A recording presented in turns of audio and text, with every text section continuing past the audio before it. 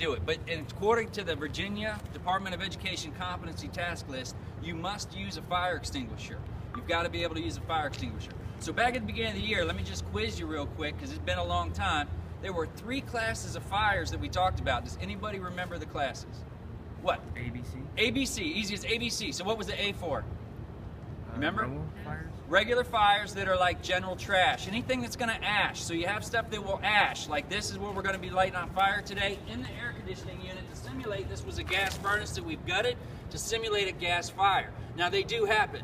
Okay, it's a it's a bad situation, but like somebody will leave a plug out. I had a situation where a customer told me that they left the plug out of one of the gas valves and then turned on the gas pressure and lit the furnace. And all the gas, instead of going through the burners like it was supposed to, came out of the gas test plug on the gas valve and it just filled up with gas and boom, took the guy's eyebrows right off.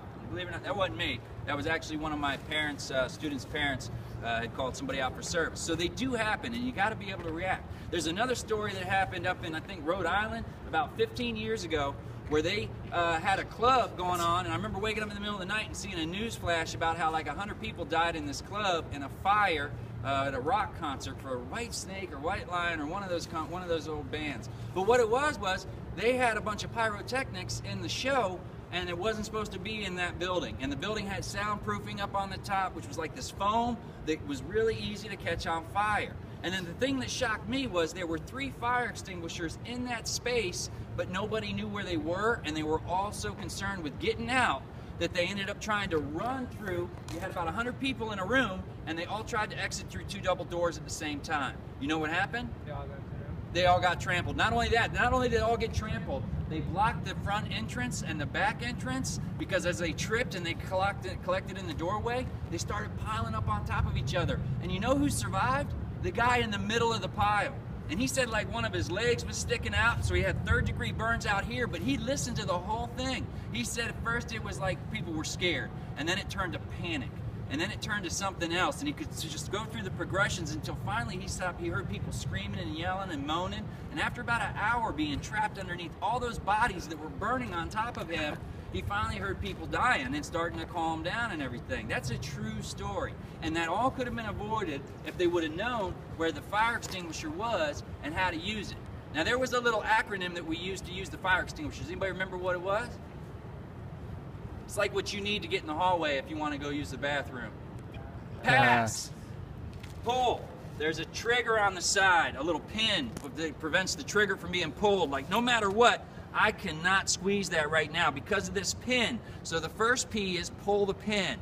Pull the pin. So, and the first person that pulls this pin today, because there's a test plug, they got to check them to make sure they're filled every month, and it's got to be in the green. If it's not in the green, it could be overcharged or undercharged depending on where the needle is, but it's got to be in the green. So the first P is pull the pin. You're going to pull the pin, all right, and then you're going to aim the nozzle. Usually you aim the nozzle at the base of the fire, but you don't want to get too close because if it's something that's going to ash when you pull the trigger and have the uh, propellant come out with the, pretty much is like baking powder for this one, almost, but that propellant could take the fire then and splatter it, which is something that you want to consider if you got a B class fire. What would the B then be for? That's combustible materials like uh, liquids, boil. Think about A's going to ash, B's going to boil. So that's going to be like oil or grease fires. Would you want to add water to a grease fire? No, no. no, because if you add water to the grease fire, it will splatter or it will BLEVE. It will boiling liquid expanding to vapor explosion. That BLEVE, the water boils so fast that it just goes right from water to steam and takes the oil with it and usually spreads the fire. So baking soda, if you have a kitchen or grease fire, find the baking soda and pour it out or cover it and smother it. Because if you remove one of the things from the fire triangle, the fuel, the heat, the oxygen, you'll have a fire taken out. And that's what this is going to do. This is going to suffocate the oxygen. And the last one is C for current. What's current? What type of thing are we doing with current? Electrical, yeah, that's electrical fire. So this one here is good for all three of those because again, you would not want a liquid water on a current or electrical fire. All right, that could cause some bad stuff to happen too. So this one here, and then there's actually a class D fire, which is like magnesium. It's a combustible metal. All right, they used to use it back in the Western days to blow up safes. Jimmy used to use it, okay? So I'm gonna put this in here like this. I'm gonna light it off, okay, with the torch, and then you're gonna have to come out. Now look, the first thing you do is you alert people that there's a fire. So you say fire, fire, and then you pull the pin. A, that's the P. A, aim the base. Squeeze the trigger, and then if you need to, you can sweep the area. Pass. Pull, aim, squeeze, sweep. All right, so who's gonna go first? Who wants to be the first one? Sebastian? All right, so remember, you're gonna come up and you're gonna yell, fire, fire. Let me have your paper towels. I'm gonna put your paper towels in here, we're gonna light them on fire, and then you're gonna put it out. Yeah, streams lighting fires today. All right, what, what a lovely class. All right, what you gotta do? Fire. Pull that pin. Fire, you gotta fire. pull hard. Aim that. Squeeze and sweep. That's it. Done. Now you would continue to do it until the fire's out, and this is the powder that we're talking.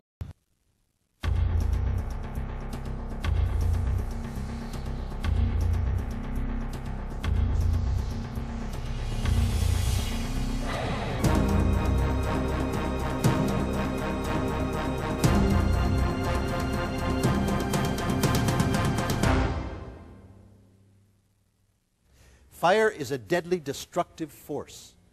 Fire related property loss last year alone was estimated at $11 billion. The best way for the average person to be safe from fire is to prevent it from happening in the first place. However, in certain situations, a fire extinguisher can help you limit the damage a fire might cause by putting it out before it has a chance to grow out of control. Fire extinguishers are your first defense against fire.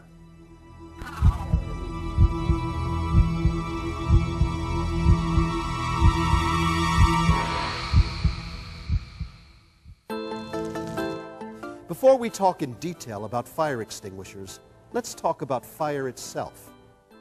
You can think of fire as a three-part chemical reaction, or a triangle. The base of the triangle is fuel. Fires need some material to burn. One side of the triangle is heat. All fire is hot. The other side of the triangle is oxygen. Without oxygen, fire goes out. Fire extinguishers put fires out by taking one of the three parts out of the mix and interrupting the chemical reaction. Fire is very fast. In only 30 seconds, a small fire can grow completely out of control and engulf a room. Room temperature in a fire can be 100 degrees at the floor and up to 600 degrees at eye level. The best way to survive a fire is to have working smoke alarms and a quick, safe escape route. Knowing when and how to use a fire extinguisher is a matter of life and death. If you choose the wrong extinguisher or use it in the wrong circumstances, you could make a small fire worse, and you could be injured or even killed.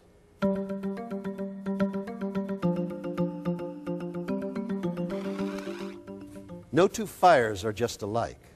Fires burn, spread, and are extinguished depending on what is burning. Fires are separated into classes depending on what is burning. And fire extinguishers are designed to put out only a certain class or classes of fire. The classes of fire are A, B, C, D, and K. Class A fires are those in materials like wood, paper, trash, cloth, and other ordinary combustibles. These fires can be extinguished by either air-pressured water or dry chemical extinguishers. Class A extinguishers are labeled with the letter A inside a triangle and or a picture of burning trash. Class B fires are fires of flammable liquids like oil, grease, gasoline, kerosene, and acetone. Using water on a Class B fire can spread the fire to a larger area, causing more damage or even injuries. Class B fires can be extinguished by either dry chemical extinguishers or carbon dioxide extinguishers. Class B extinguishers are labeled with the letter B inside a square and or a picture of a burning gas can. Class C is the category for electrical fires, such as those in appliances or at electrical outlets. These fires can be extinguished by either dry chemical extinguishers or carbon dioxide extinguishers. Class C extinguishers are labeled with the letter C inside a circle and or a picture of a burning electrical plug. Most homes are best protected by multi-purpose fire extinguishers. These extinguishers are called dry chemical extinguishers. Dry chemical extinguishers work by separating the fuel element of the fire from its oxygen supply. The agent inside the extinguisher coats the fuel with a thin layer of dust. It not only separates the fuel from the oxygen in the air, but it also interrupts the chemical reaction of fire. Multi-purpose dry chemical extinguishers are also called ABC extinguishers because they put out class A, B, and C fires.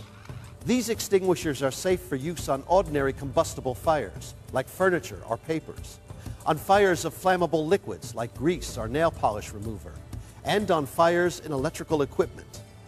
They are labeled with the A, B, and C emblems and or the pictures associated with each type.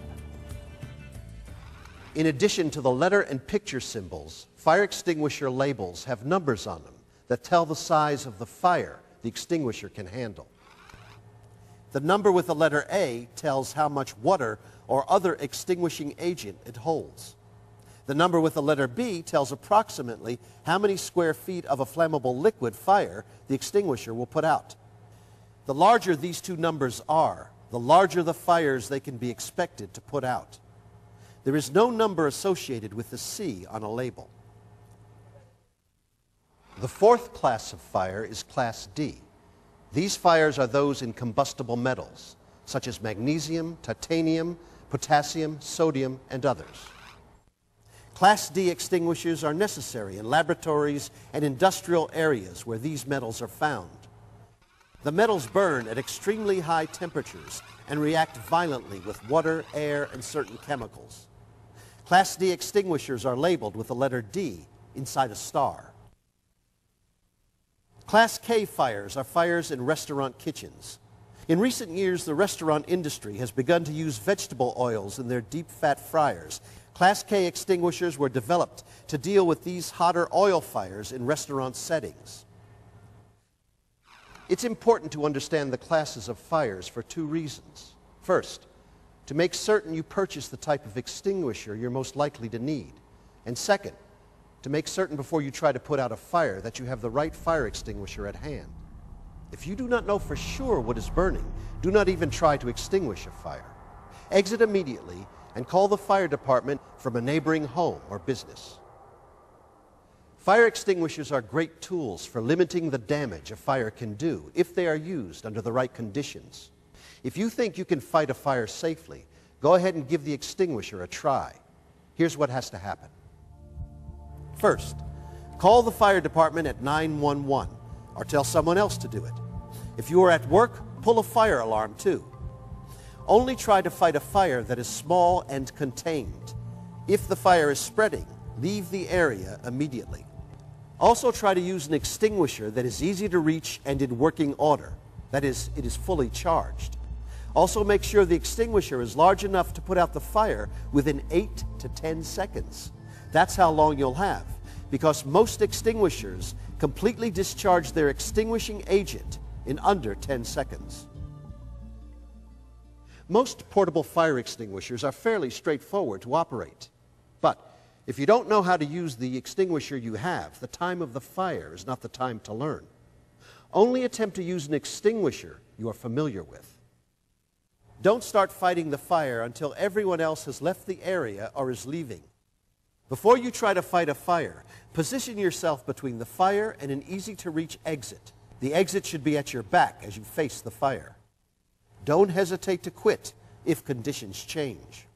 If smoke fills the room, drop the extinguisher. Get on your hands and knees. Cover your nose and mouth with your shirt and crawl to the exit. The indispensable key to fighting fires safely is knowing how to use the extinguisher. If you're not very comfortable with operating instructions, don't even try to use the extinguisher. Different extinguishers have slightly different operations, but they are similar. Here are a few simple steps that apply to most extinguishers. Just remember, PASS. PASS is a memory device for the four basic steps of fire extinguisher use. P, pull the pin. A pin or latch locks the operating lever. Pull the pin or latch to free the lever. Stand six to eight feet away from the fire. A. Aim the extinguisher's nozzle or hose low at the base of the fire. S. Squeeze the lever that operates the extinguisher. The extinguishing agent will immediately begin to discharge. S. Sweep from side to side. The fire seems to be going out. Move carefully toward it as you continue to sweep side to side. Even after the fire appears to be out, keep an eye on the site until the fire department arrives. Firefighters should examine the site of any fire to be certain that it is completely out.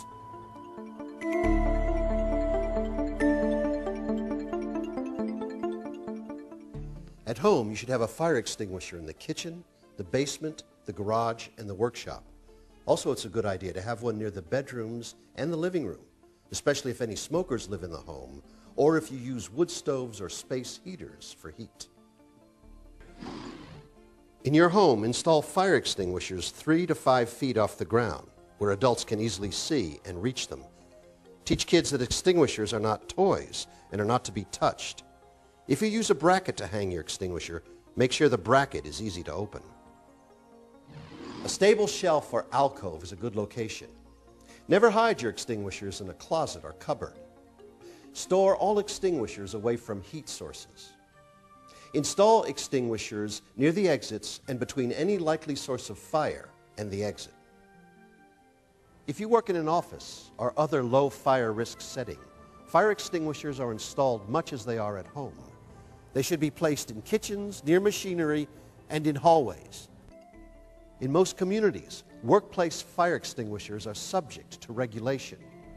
Your local fire department will be happy to assist you in selecting and installing fire extinguishers in your workplace. Fire extinguishers are generally easy to maintain. Make sure any moving parts are dust and corrosion free. Check extinguishers monthly to see that they are charged and full. Most ABC extinguishers are disposable and must be discarded after use. If their gauges show empty, they must be replaced. Rechargeable units must be recharged if their gauges indicate low charge. Most of us hope that if we found a fire burning, we could save the day by putting it out. But putting out a fire is not as simple as it seems. Fire is a major killer. It is hotter, faster, and more uncontrollable than many people think. At the same time, a knowledgeable adult with a working fire extinguisher can put out some small, containable fires. In the case of a fire, evacuate the building. Call the fire department or have someone else call from a neighboring house or business. And then assess whether a small blaze can be put out with a fire extinguisher. Preparation and knowledge can make fire extinguishers your first defense against fire. One more thing to consider when you use a portable fire extinguisher is its size. A relatively small portable fire extinguisher, like this dry chemical extinguisher designated as a 5ABC, will only last about 6 to 10 seconds before empty. A larger extinguisher, like a 20 ABC, will last somewhere around 25 to 35 seconds before it is emptied.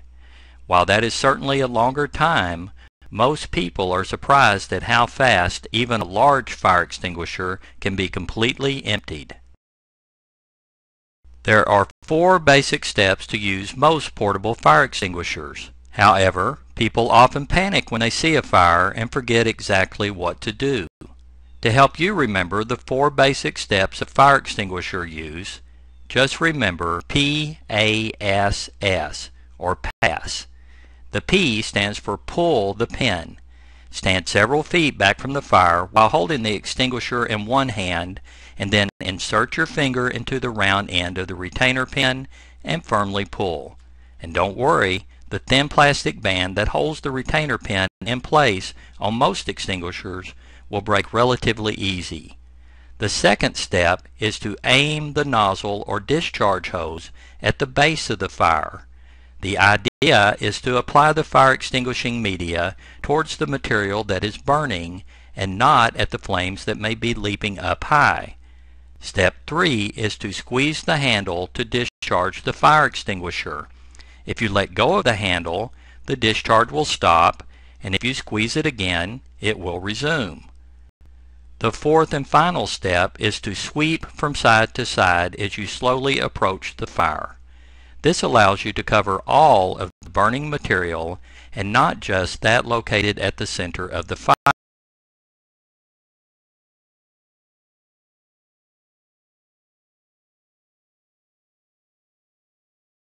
Here's a quick explanation of the five most common types of fire extinguisher and their uses. Water and water with additive fire extinguishers are all colour coded red on the extinguisher description panel. Basic instructions on how to operate them are printed on the canister. You should only use them on flammable solids like wood, paper, textiles, and furnishings.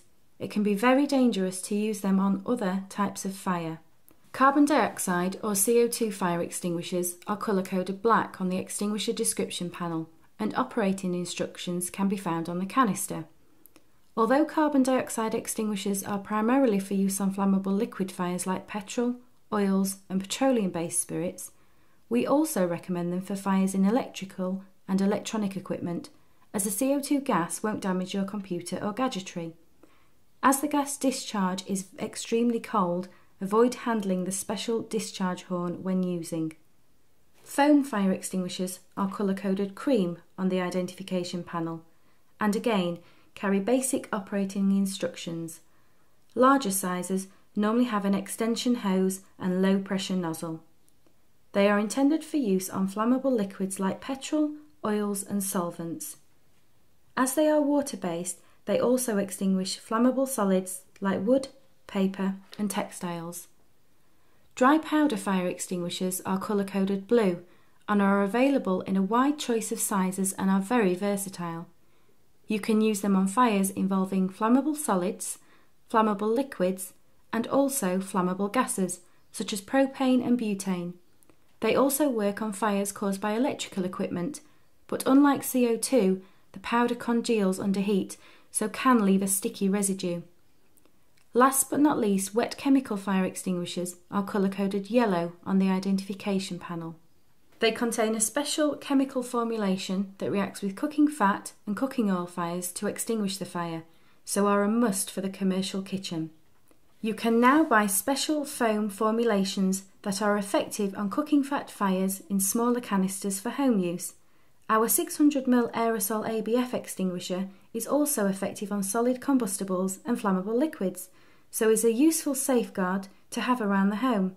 And remember, when it comes to your safety, come to fireandsafetycentre.co.uk.